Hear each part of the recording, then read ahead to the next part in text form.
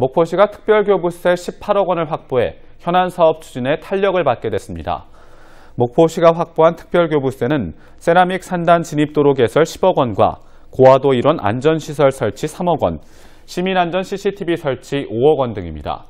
특별교부세는 지자체 자체 재원으로 해결하기 어려운 사업비를 정부에서 교부하는 지방교육세의 한 종류입니다.